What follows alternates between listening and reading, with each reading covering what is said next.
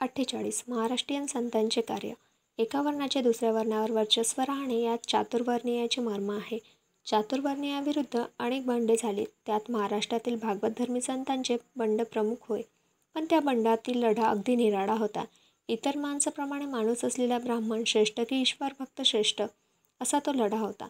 ब्राह्मण श्रेष्ठ की शूद्र माणूस श्रेष्ठ? हा प्रश्न सोडवण्याच्या भरीत साधुसंत पडले नाहीत. या बंडात साधुसंतांचा जय झाला व भक्तांचे श्रेष्ठत्व ब्राह्मणांना मान्य करावे लागले.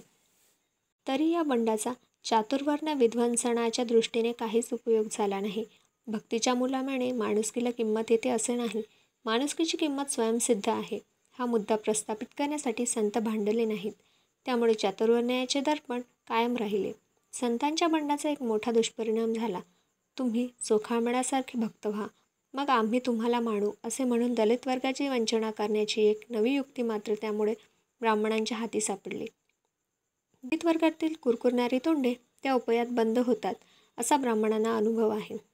सांप्रदायिक लोक साधुसंताच्या चमत्काराच्या दंतकथा शक्य तितक्या अतिशयोक्तीने वर्णन करतात परंतु साधूंनी प्रतिपादिलेल्या न्यायबुद्धीची भूतदयेची आणि समतावादाची व उदार्त विचारांची ते हटकून पायमल्ली करतात. कारण त्यांना जातीच्या दुराभिमानाने पछाडलेले असते. रामदास पंथाचे लोक तर पहिल्यापासूनच जाती दुराभिमानी व कडवे म्हणून प्रसिद्ध आहे. त्या पंथाचा संस्थापकच वर्णवर्चस्वाच्या अभिमानाने ग्रासलेला होता. त्यापायी त्याने वारकरी संप्रदायाशी स्पर्धा करणारा वेगळा संप्रदाय स्थापला. माझ्या तरुणपणी महाराष्ट्रातील संतांच्या वाङ्मयाची मला फार आवड होती.